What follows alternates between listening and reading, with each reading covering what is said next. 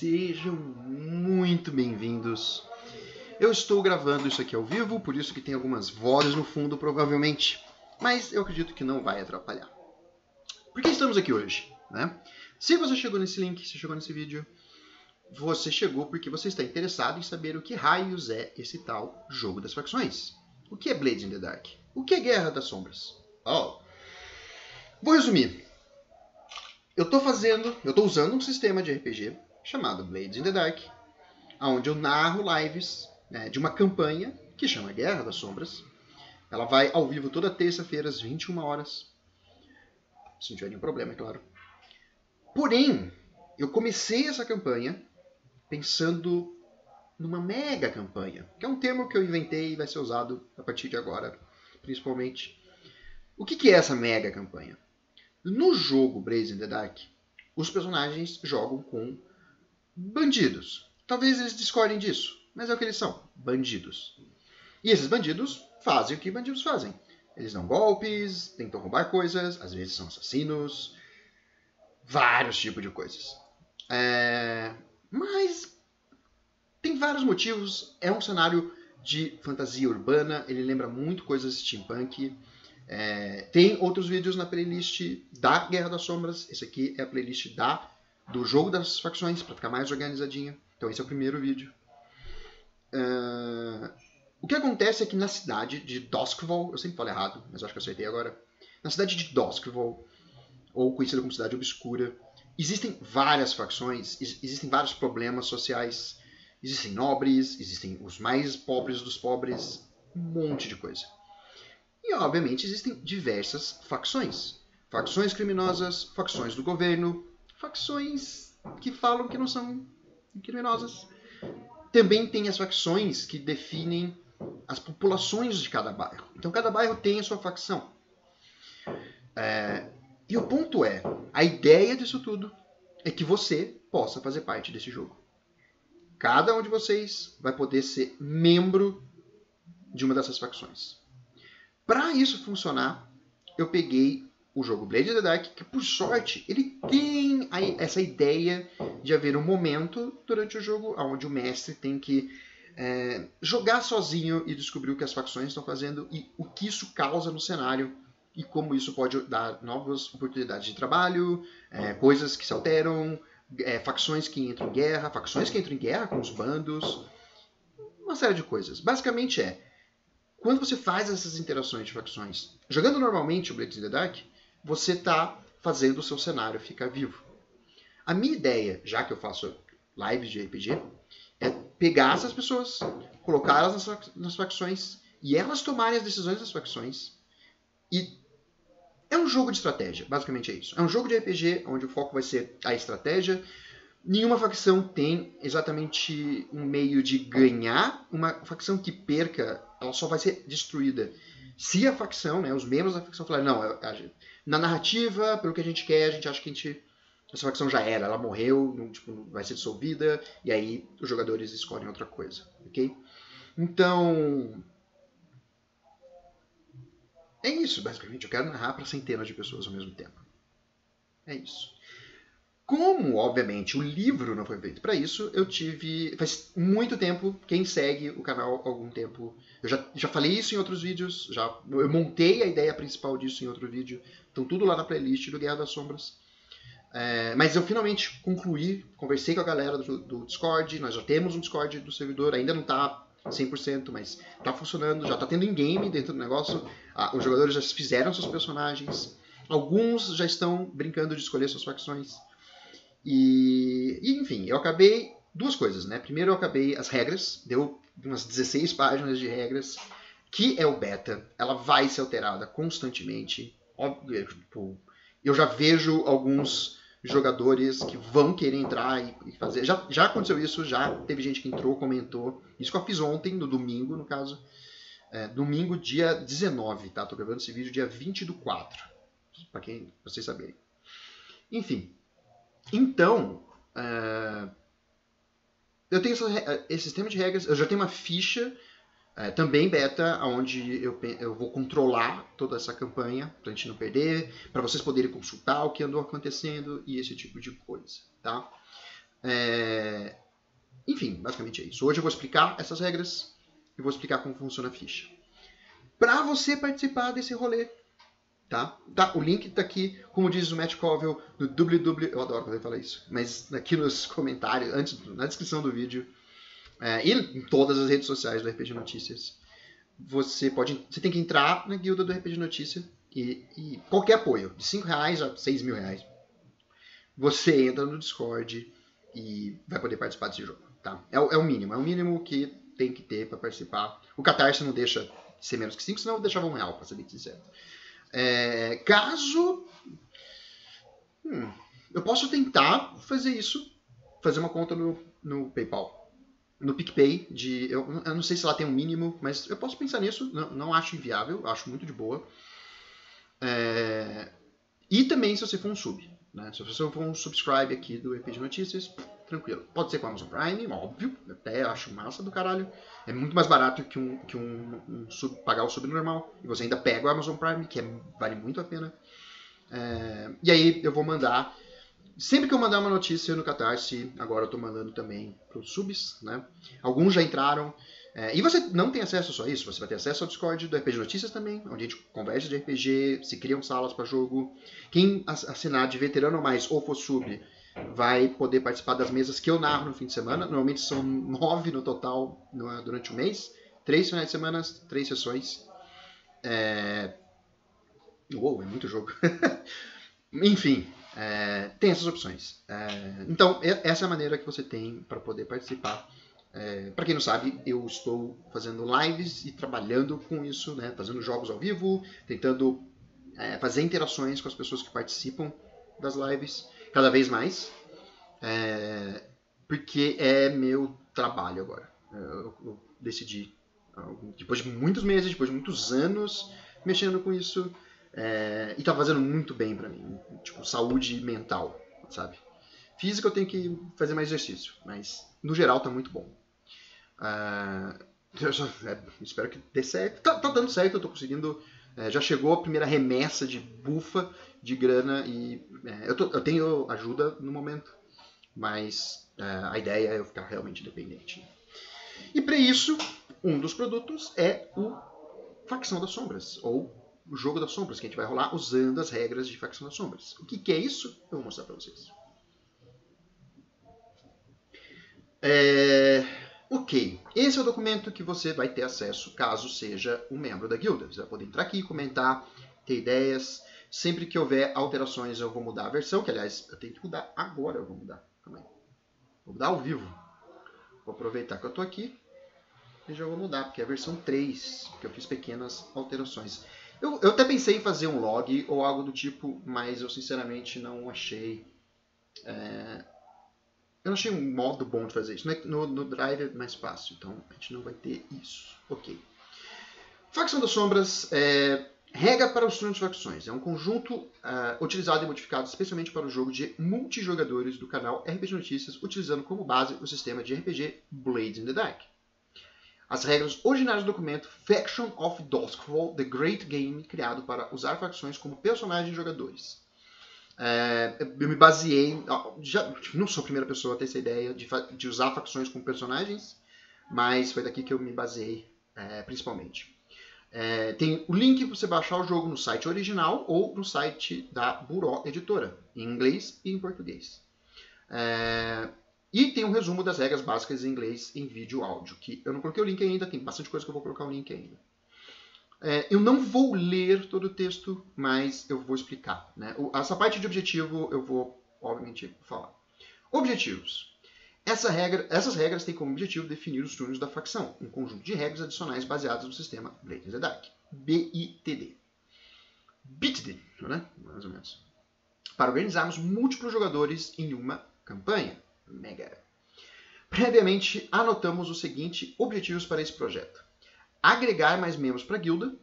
Obviamente, eu quero mais membros para a guilda para ganhar mais dinheiro, não vou mentir, porque aí eu posso investir em mais coisas.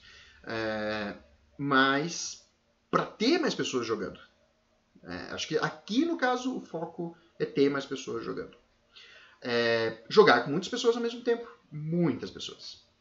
É, é pegar o ideal do jogo e trazer para esse jogo de facções, que é usar muito a narrativa, transformar o, o cenário, esse tipo de coisa.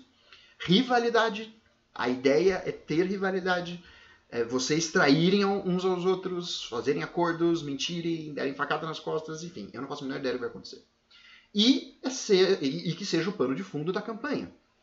É, essa campanha, como eu disse, ao vivo, para todas as terças-feiras, 21 horas, e para dois grupos da guilda. Tá? É, já estão fechados esses grupos, aliás. Agregar mais membros para a guilda, aí eu explico cada um desses pontos, jogar com muitas pessoas, ideal do jogo, rivalidade o fundo. Então, fica bem claro os objetivos do porquê eu fiz esse rolê aqui, tá? É, aqui temos o índice todo, como participa, é, regras do jogo, turnos, ordens, rolagens, experiências. Enfim, para participar tem que ser da guilda, mas não precisa falar aqui, mas tem que entrar no Discord, é, tem moderadores e tem outras coisas, mas tem vocês, os jogadores. Os jogadores podem acessar a taverna que se chama Temet Nosk. Ela é possuída pela NPC Tia, que é controlada pela Paula Elir. É, ela já sabe o personagem dela, ela sabe as funções dela e ela cuida muito bem da taverna. Essa taverna existe no cenário. É, tipo, os personagens vão poder ir para lá e com certeza irão. É, então, as coisas que acontecem nessa, taverna vão ser sempre muito importantes. Para vocês terem ideia, uma das. Welcome, Kalin 1977. Uma das jogadoras de um dos grupos que não é da live já usou isso, entrou na taverna, fez um roleplay e conseguiu algo possivelmente útil para o bando dela. Então, essa é a ideia dessa parte do jogo. Mas também é para a gente conhecer os personagens que vão acabar entrando em facções e é onde os membros das facções vão recrutar as pessoas para dar da facção.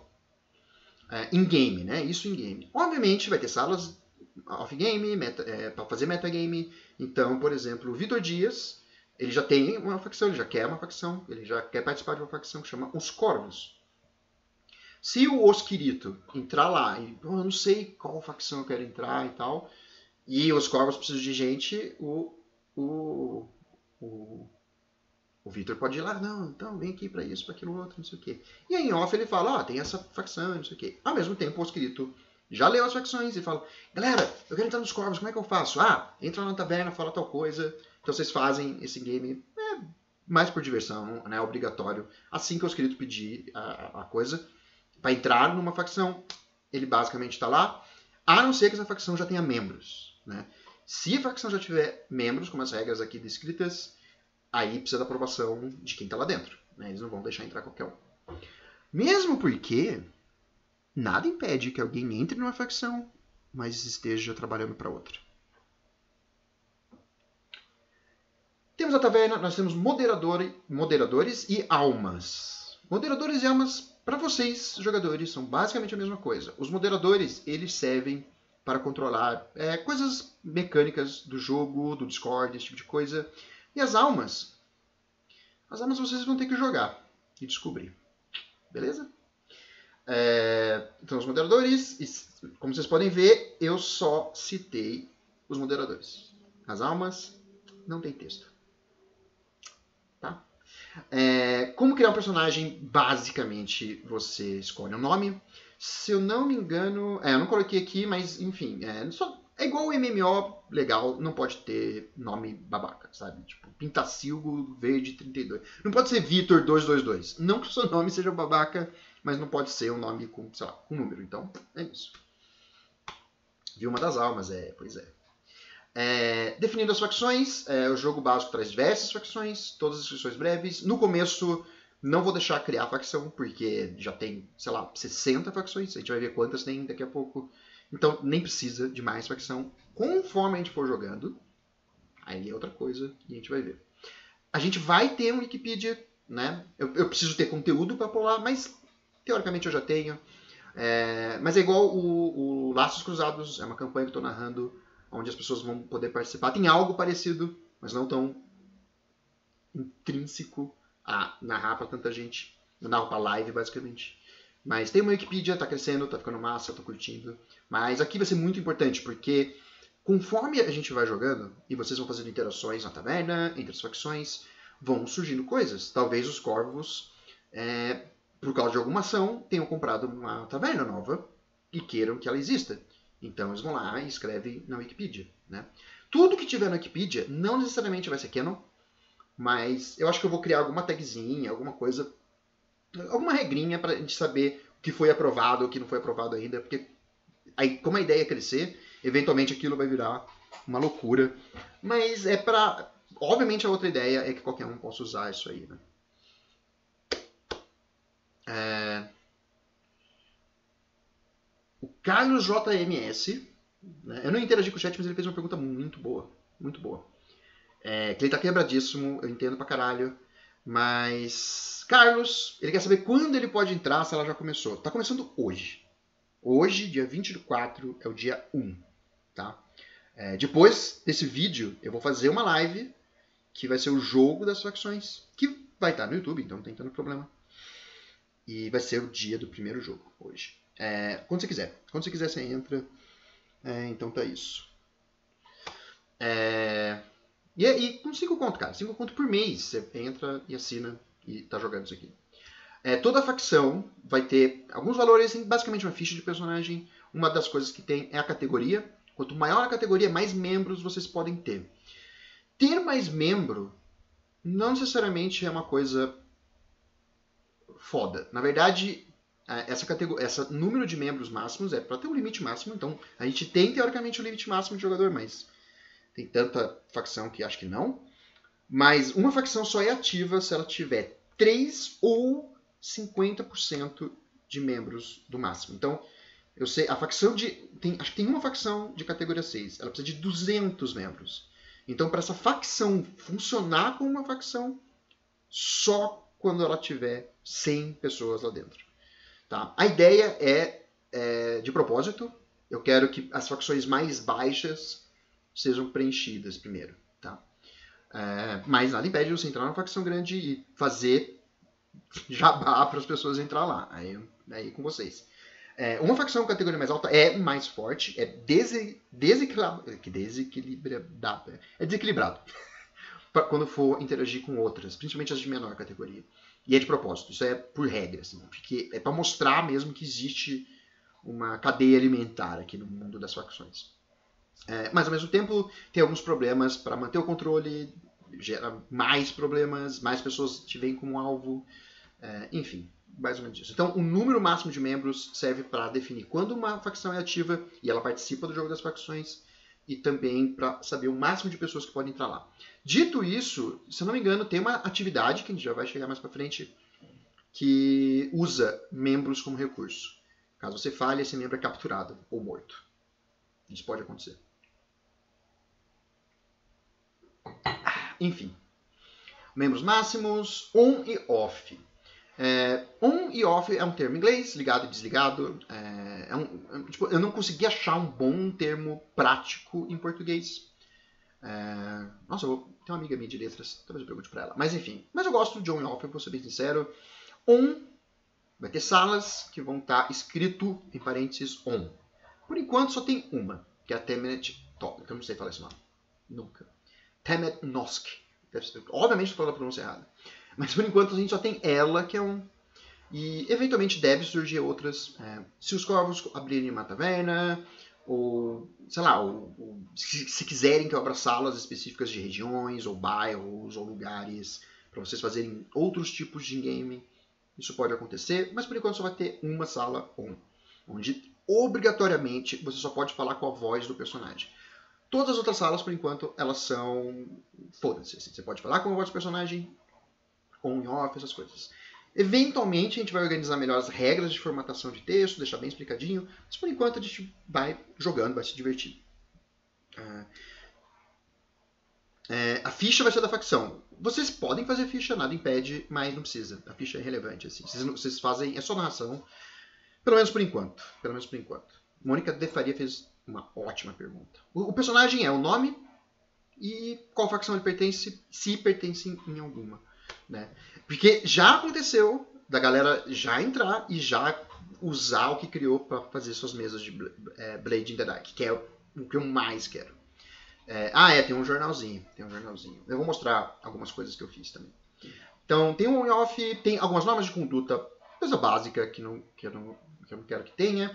É, como eu tô tendo, principalmente agora, é, eu, tenho, eu, eu tenho certos gatilhos com algumas coisas, mas eu sempre, eu nunca vou banir, eu, Leandro, nunca vou banir alguém do nada, né?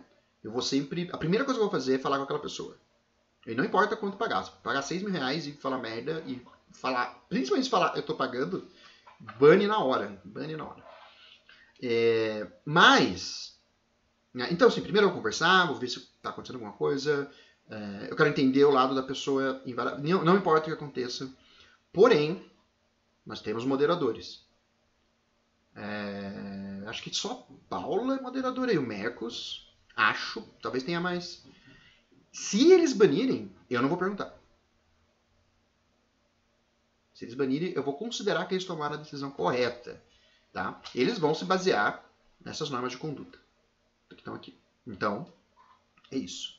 Né? Eu posso questionar as pessoas. Eles só se quiserem. Então, se mantenham na linha. Mas, é, tipo, basicamente tem um monte de texto bonitinho para falar. Não seja um cuzão, tá? É só não ser cuzão. É, e aí a gente tem as regras do jogo. Ah, beleza. Eu coloquei para escolher o nome. Enfim. Ficha da facção. Eu não coloquei o link ainda, porque eu quero mudar algumas coisas, mas é o link da ficha que todo mundo já tem acesso. Mas depois eu coloco aqui. Tem um processo de organização aqui, existe isso.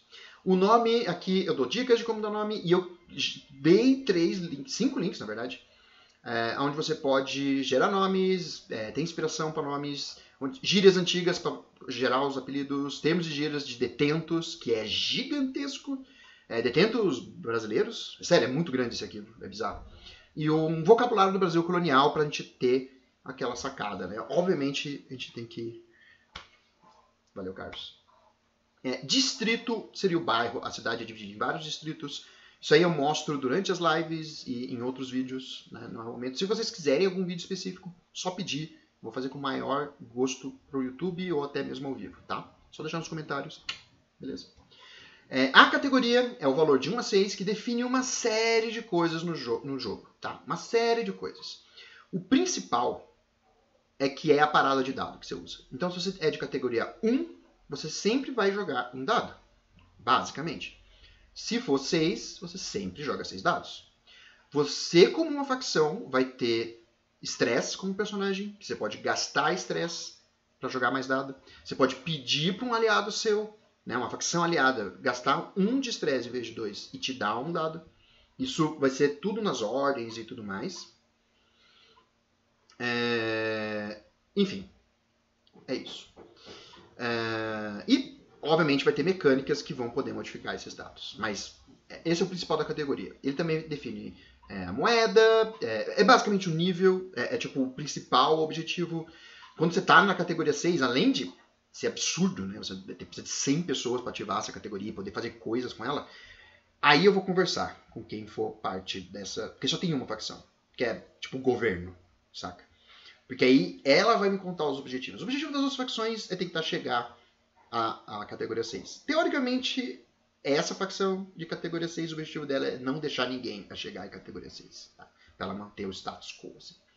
Moeda é um recurso do jogo para mostrar é, o quanto de dinheiro, posses, influência, documentos, é, chantagens você tem que pode usar para conseguir alguma coisa, mas é o dinheirinho. É o dinheirinho que é um, é um recurso que você usa para fazer mais ações, para melhorar algo que você fez. Você pode, é, a sua facção pode fazer uma invenção de algo do tipo né? Pra, pra, enfim, conseguir mudar uma regra, basicamente é isso.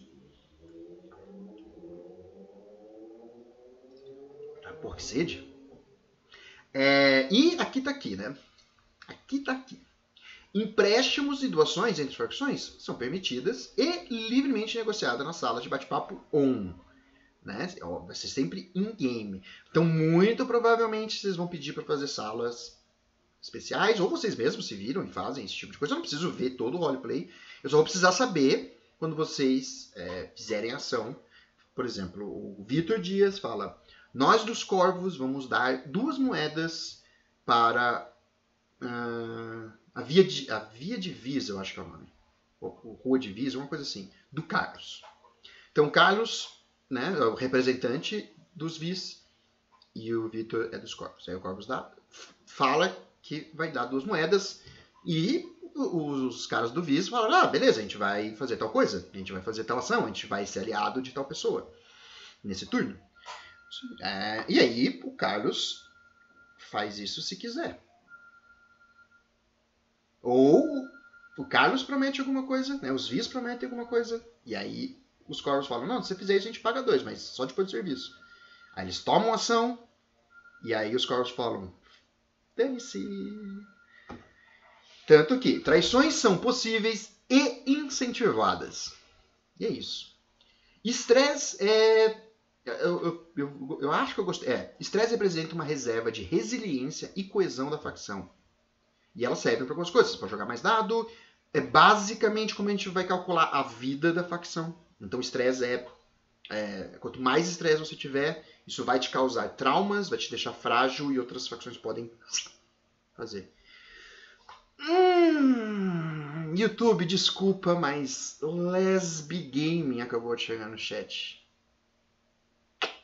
Novo canal de Lulu e Bebel.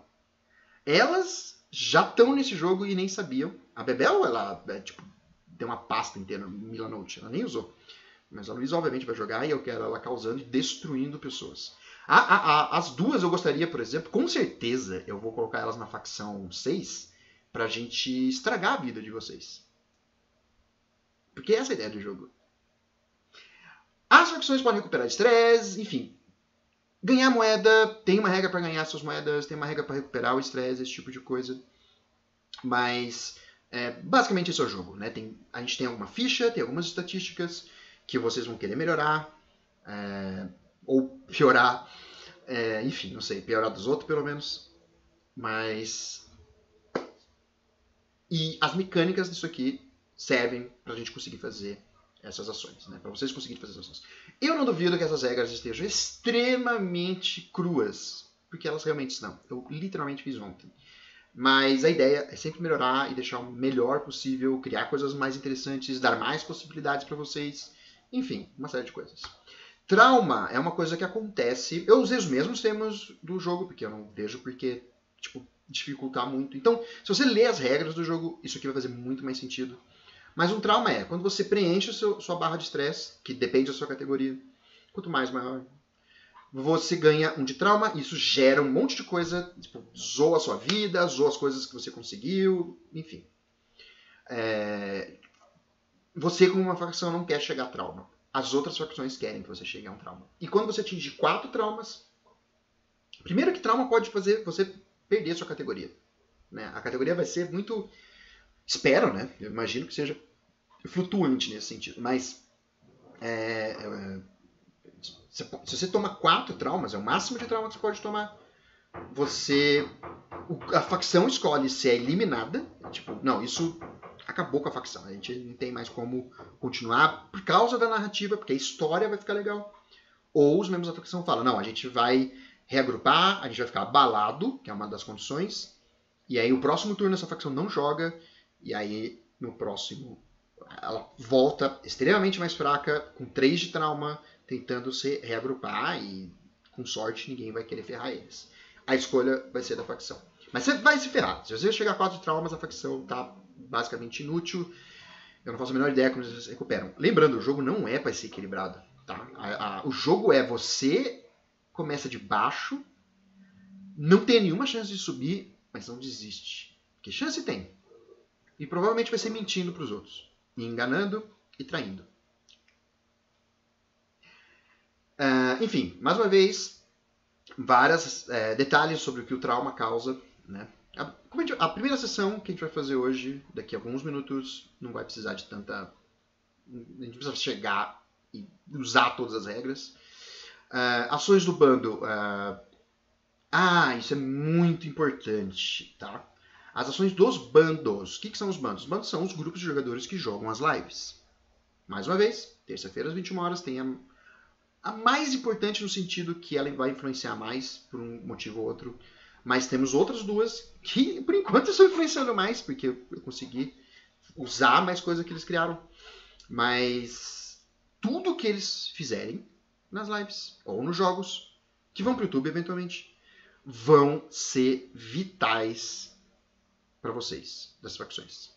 Porque para uma facção destruir o armazém das drogas de outra facção, que é um negócio maior importante, super foda, ia demorar turnos e turnos, e recursos, e pá.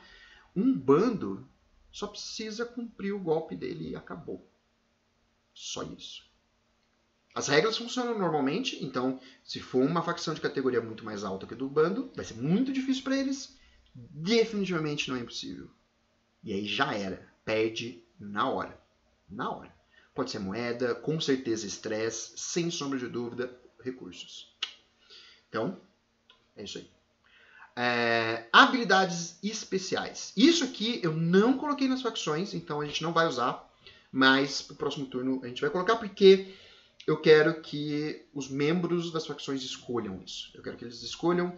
Eu sempre vou ter que aprovar porque tem que fazer sentido com a facção em si. Mas eu, prefiro, eu acho muito mais legal é, quando a facção for ativa, a gente descobre as habilidades especiais delas. É, recurso são, é, pode ser um NPC, tipo um assassino contratado, algum local da cidade, algum tipo de informação específica, algum item de poder.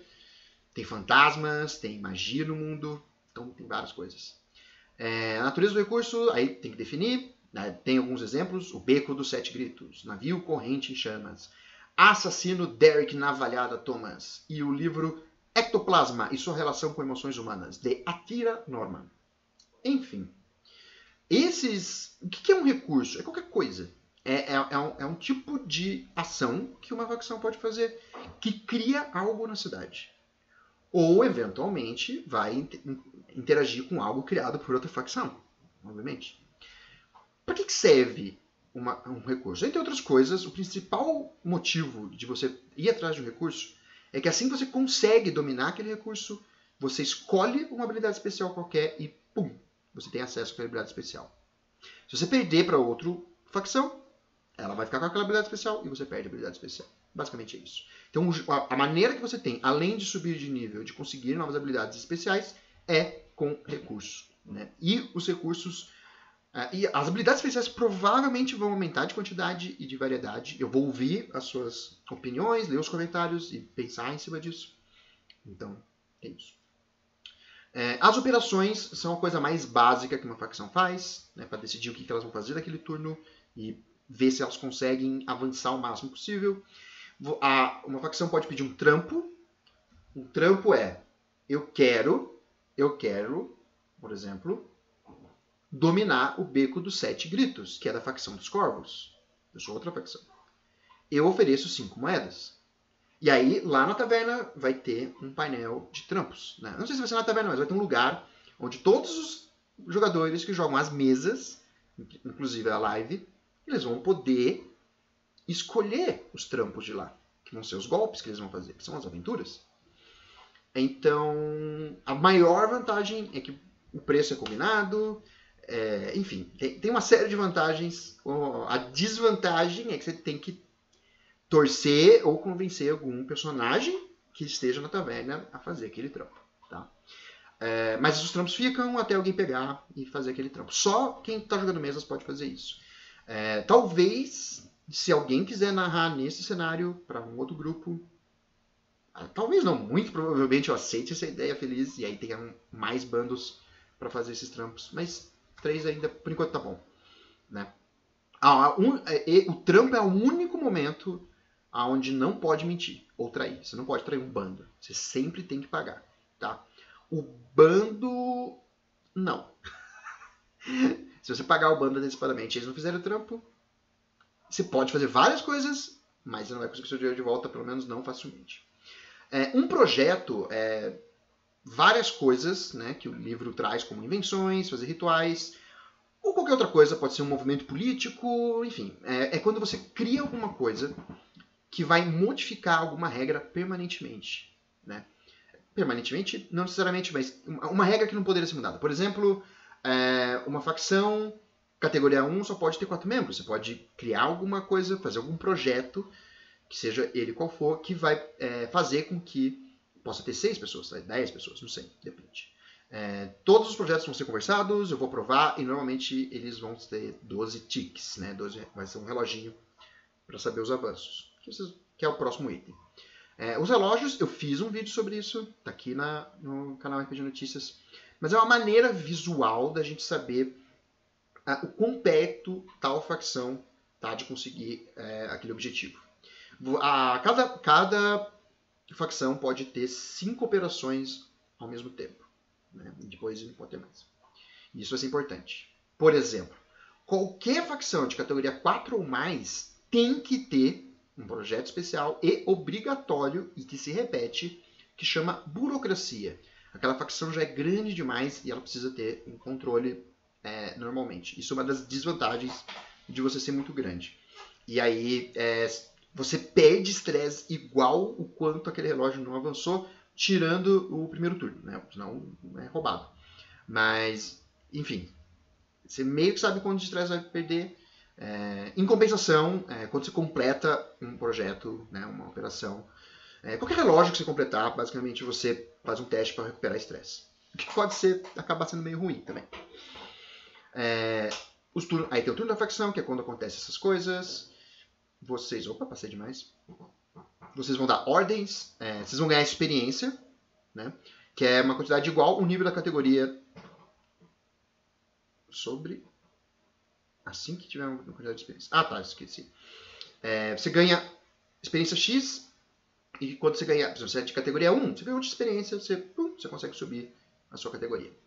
É, as rolagens, a gente usa o mesmo negócio, a mesma ideia dos dados do, do jogo. Então, você joga um número de dados igual à sua categoria e 6 é um, é, é um sucesso, aí você marca 3 passos no relógio, 4 e 5 é 2, 1 e 3 seria é, uma falha, isso quer dizer mecanicamente que você só ganha um avanço, que é bem pouco.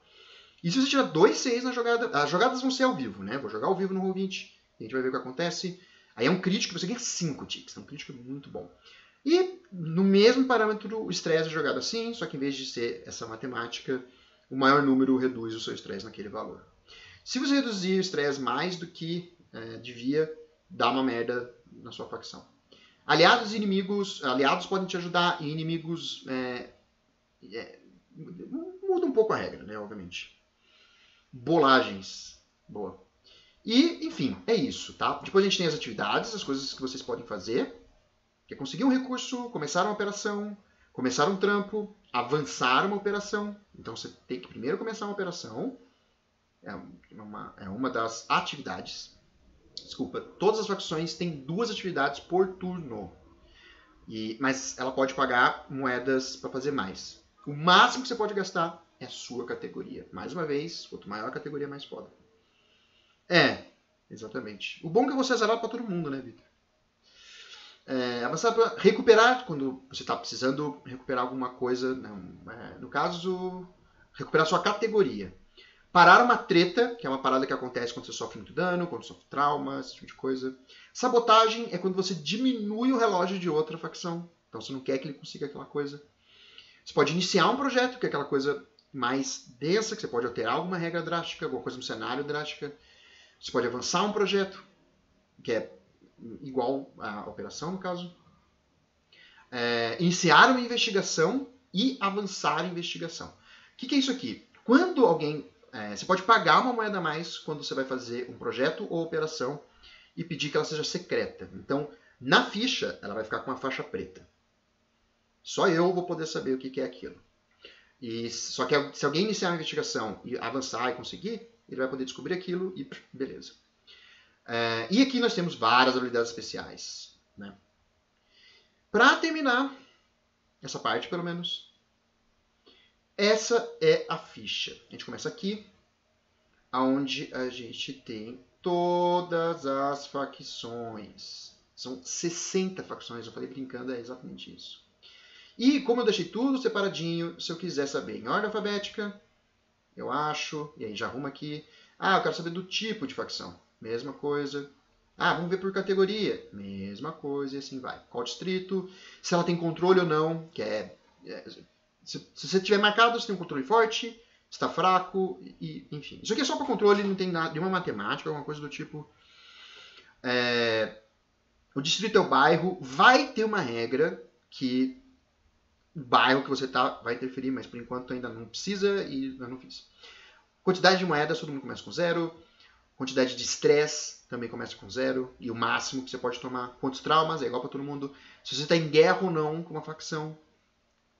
Quem ganha fode muito a outra facção, mas é ruim para os dois lados estar em guerra e uma oportunidade para todo mundo.